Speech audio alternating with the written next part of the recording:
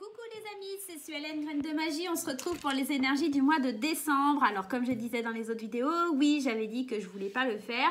Euh, enfin, que ça me prenait un peu la tête. Mais au final, euh, euh, bah, suite à tous vos petits messages, vous étiez tellement choupinou que bah, du coup, je vous fais les énergies du mois de décembre. Et je continuerai à garder ce support parce que c'est vraiment quelque chose à laquelle vous tenez. D'accord? Donc voilà, pas de panique. Je continue à les faire mois par mois, vos énergies du mois de décembre.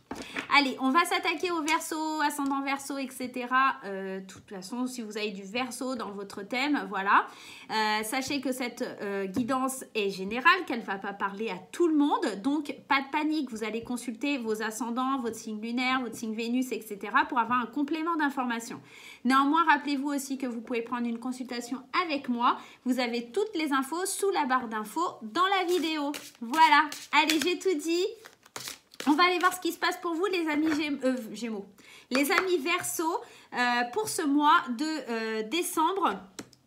Et en plus, on va aller voir du côté général, mais aussi du côté sentimental. Alors, la première carte qu'il y a, c'est suis ton instinct. Hein. On va devoir suivre son instinct. Si vous êtes verso, on te dit mais, mais, mais. Pourquoi avoir peur de suivre ton intuition? Ton GPS intérieur fonctionne super bien. Même s'il y a tout un tas de paramètres qui te, sont encore inconnus, la route se dessine à mesure que tu la parcours. Les montagnes de toutes de doute cache parfois des panneaux de signalisation. Sois attentive à tous les petits signes qui se posent sur ton chemin, comme des messages qui te sont directement adressés. Donc euh, là, il va falloir faire preuve, euh, faire preuve. En tout cas, euh, aller explorer ton instinct, ton intuition. Regardez bien autour de toi les signes et les symboliques que l'univers elle peut t'envoyer. Enfin, il peut t'envoyer. J'ai du mal, hein, ça y est. je suis au dixième signe, donc je commence à, un petit peu à fatiguer. On est dans cette énergie où sur la bonne voie. donc, il n'y a pas de raison que tu te plantes, il n'y a pas de raison que ça ne matche pas, il n'y a pas de raison que ça ne fonctionne pas. Euh, tu es vraiment en train de prendre les bonnes décisions, la bonne orientation, de faire les bons choix. Donc vas-y, lance-toi, lâche-toi, euh, euh, cher Verseau. Allez, on y va avec le 77. Qu'est-ce qui se passe pour vous avec le, signe du Verseau pour ce mois de décembre 2020 Comme je disais auparavant, j'ai reçu la nouvelle version, mais comme j'ai commencé les, les horoscopes avec avec euh, l'ancienne version. Je continue avec l'ancienne version. Vous aurez néanmoins la semaine prochaine euh, la nouvelle version dans les euh, énergies du jour. voilà, vous savez tout. et ouais, on fait un retour sur soi pour les versos avec plus de sagesse et on y va, on s'ancre. On s'ancre. Avec une femme, hein, il y a une femme dans votre entourage il y a quand même des conflits et je pense que ces conflits sont liés à l'intérieur de vous parce que vous avez du mal à trouver votre vitesse de croisière. On voit qu'il y a un chemin qui se dessine pour vous, hein, n'est pas des moindres, un chemin euh, parce qu'il y a des nouvelles, il y a des opportunités qui arrivent à vous, il y a des, options d'association qui sont possibles. Pour certains, il y a des mariages hein, qui sont dans l'air là. Euh, j'ai l'impression qu'on va vers une nouvelle voie qui pourrait être conflictuelle. Néanmoins, on voit qu'on prend le temps hein, pour aller vers cette nouvelle voie et on prend le temps de célébrer les choses, on prend encore du recul. Et je pense que ce qui est conflictuel, c'est que tu ne suives pas ton instinct et les signes qui se, qui, qui se mènent à toi. En fait, il y, a, beaucoup de possibilités, il y a beaucoup de potentiel et toi, euh, tu es en train encore de chercher la sagesse en toi. Est-ce que je suis sur le bon chemin? Est-ce que j'y suis pas? Est-ce que cette association, c'est la bonne? Tu es en train encore de te poser des, questions. Est-ce que cette association aussi liée à mon passé est la bonne? J'ai l'impression que on a des nouvelles aussi d'une association de notre passé, d'accord? Il, y a encore quelque chose, d'une question d'un ex ou d'une ex qui traîne par là aussi. Hein. Euh, on voit qu'on prend un nouveau chemin. On est sur une nouvelle route. Et, cette carte des conflits, je vais juste aller en remettre une dessus. Ouais, on est tourmenté en fait. Vous êtes tourmenté là les amis verso, mais c'est vous-même qui vous mettez dans un labyrinthe parce qu'il n'y a rien à craindre si tu suis ton instinct. C'est à l'image de cette carte. Si tu suis ton instinct, tu es sur la bonne voie. Tu es sur le bon chemin. Pourquoi tu te crées des conflits à l'intérieur de toi? Pourquoi tu crois que tu n'es pas sur le bon chemin? Pourquoi tu crois qu'il y a des, des, choses qui vont mal aller, qui vont mal tourner? Franchement, là, il y a vraiment un beau tirage. on vous dit juste que euh, il faut peut-être écouter aussi la sagesse d'une femme, peut-être éventuellement, et peut-être écouter aussi un peu plus son côté féminin pour vous, messieurs. En fait, on voit qu'il y a vraiment quelque chose de très beau, très positif. Euh, donc maintenant, essaye d'aller vers ça et arrête de, de, te prendre la tête et de créer des conflits pour toi tout seul. On va aller voir avec euh, l'oracle des miroirs. Allez, l'oracle des miroirs. Qu'est-ce qui se passe pour les anniversaires sur le mois de décembre. Allez, les, les versos sur le mois de décembre, qu'est-ce qui se passe pour vous? On y va. Hop, l'ouverture, encore l'ancrage, la chance, bah, tu demandes quoi, Verso? Il, y a, y a vraiment, ouais, trahison, mais c'est parce que c'est toi hein, qui te la mets. Et encore cette notion de quelque chose, d'une opportunité qui revient de ton passé. Hein. Il, y a, quelque chose qui revient du passé hein, vers toi. Euh, il y a cette notion d'ancrage. Il y a cette notion, on ouvre la porte d'une destinée. On retrouve un équilibre par rapport à son passé ou par rapport à des graines qu'on a semées. Mais toi, tu as toujours cette vision de la trahison. Tu as l'impression qu'on va toujours venir te mettre un couteau dans le dos. C'est peut-être tes expériences de ton passé qui te disent que tu peux pas faire confiance, que tu as, un certain manque de confiance en toi, en fait. Il y a, y a prendre la hauteur et évoluer. Et il y a une certaine bah, grandie, mûrie, parce qu'en en fait, euh, tout le monde ne veut pas te planter un couteau dans le dos. On n'est pas tous, tous, comme ça. Alors arrête de monter en haut de ta montgolfière pour aller voir si vraiment le monde est, euh, est méchant.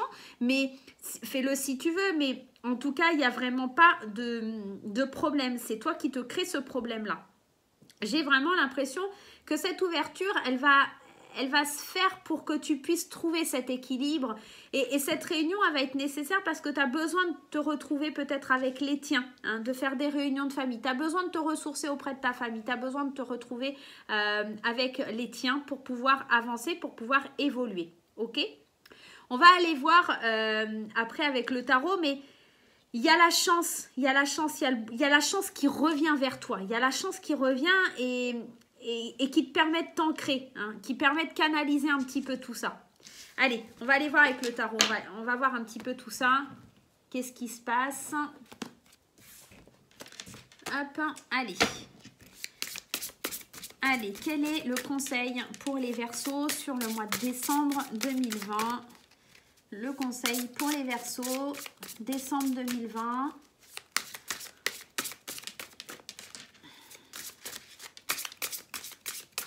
Hop là.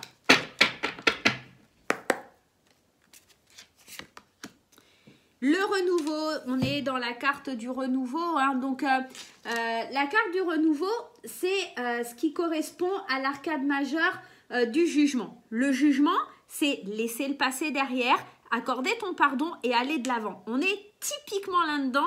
Ta boussole, ton instinct, il te mène vers des chemins qui sont positifs pour toi. Alors arrête de regarder ce qui s'est passé avant.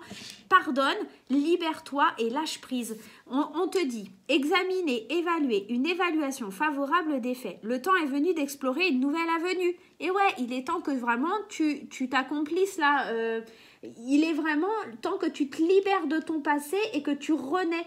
Euh, enfin que tu renais, que tu renaisses, ça ne veut rien dire sinon, que tu renaisses un petit peu. Il est temps de faire confiance en la vie, il est temps de te faire confiance tout simplement. Ok mon ami Verso? Allez, on va aller voir pour les couples. Euh, vous restez bien jusqu'à la fin les amis parce qu'on va aller faire euh, les couples et les célibataires et après on ira voir les conseils avec le Happy Tarot que l'on doit mettre en place pour le mois de décembre 2020. Allez, pour les couples Verso, qu'est-ce qui se passe? Les couples verso, qu'est-ce qui se passe pour vous? Les couples verso. Les couples verso. Et ouais, la malhonnêteté, la prudence, ne, euh, ne pas tomber dans le piège. Et encore une fois, waouh wow. Hein, pour les versos, euh, pour les versos, on est peut-être avec une personne qui est fausse, une personne qui est malhonnête, une personne qui a une triangulaire, il y a une, réconciliation euh, sur l'oreiller, certainement. Euh, mais la personne avec qui vous êtes, a de grande chance qu'elle soit hypocrite. Elle n'est pas franchement... C'est peut-être pour ça que vous avez de la méfiance. Hein. Euh, il y a une personne qui est rusée, qui est maligne, qui sait vous emmener où elle veut. Il y a une espèce de détachement aussi hein, par rapport à quelqu'un qui est malhonnête. Il y a un détachement par rapport euh, à une triangulaire. Alors peut-être que c'est votre partenaire qui se détache de ça et qui, qui pour le coup, vous pouvez aller maintenant vers quelque chose qui est lié à la réconciliation et il va y avoir des médisances, hein, ça va parler autour de vous, hein, bien évidemment. Faut pas trop vous en préoccuper. Ouais, pour les couples, ça sent un peu mauvais. Euh, et, là, quand on vous dit de suivre votre instinct, c'est peut-être ça aussi. Hein. Alors oui, effectivement, dans le tirage général, euh, sur le plan professionnel et tout, ouais, as du souci, machin et truc, tu te prends un peu trop la tête.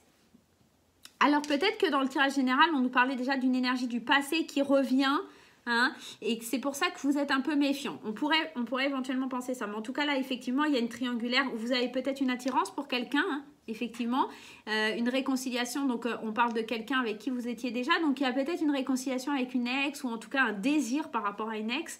Euh, il y a un truc qui n'est pas forcément très cool là pour les couples. Ça parle de triangulaire, ça parle d'adultère, ça parle de de tierces personnes au sein du couple. Peut-être que c'est vous, peut-être que c'est votre euh, chéri ou chérie.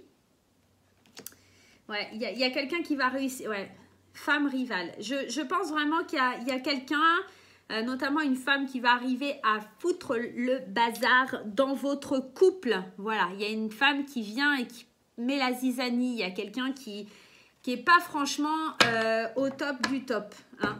ouais. En plus, regardez en d'autres decks, j'ai quoi? J'ai le choix choix, séparation.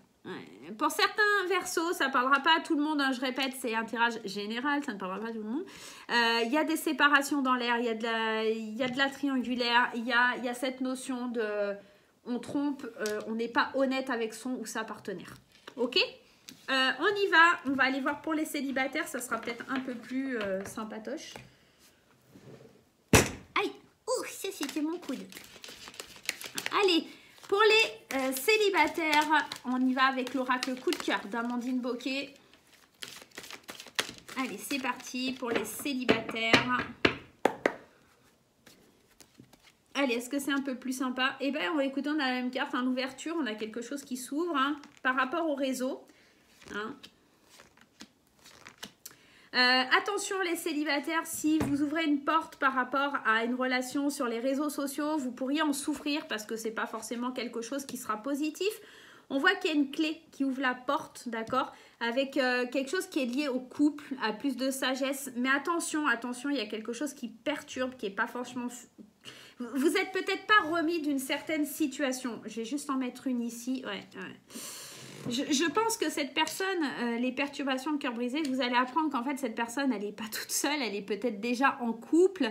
Euh, donc les, portes qui s'ouvrent là pour vous, elles sont pas forcément folichonnes, hein. sauf si vous acceptez de vivre dans une triangulaire. Encore une fois, on, parle vraiment d'une triangulaire, hein, de liaison secrète. Hein. Il y a des secrets, il y a des choses qui sont pas dites là. Il y, a, un couple, euh, on, voit, il y a l'ouverture, une solution par rapport à un couple. Peut-être que y a possibilité de former un couple, mais ça va perturber, il y a le cœur brisé, c'est un couple qui va rester secret, c'est un couple qu'on ne pourra pas exposer aux yeux du monde. Euh, euh, ou en tout cas, c'est peut-être aussi que vous exposez trop votre, votre tristesse euh, sur les réseaux sociaux. Ou c'est peut-être une relation que vous allez, qui vient vers vous via un site de rencontre, hein, éventuellement. mais en tout cas, c'est quelque chose qui va vous perturber. C'est pas quelque chose qui est franchement très très bien pour vous. Ouais. Ouais. On a la carte de la tendresse. Euh, voilà, ça va vous apporter de la tendresse, mais pas forcément quelque chose de plus euh, significatif, quoi. Donc, euh, à vous de voir, ça va être une forme de divertissement. Voilà. Allez, on va aller voir avec le tarot, en tout cas, les conseils à suivre pour ce mois de décembre. Suivez votre instinct, de toute façon, c'est ce qu'on vous disait. Donc, restez dans cette même optique de suivre votre destin, les anniversaires.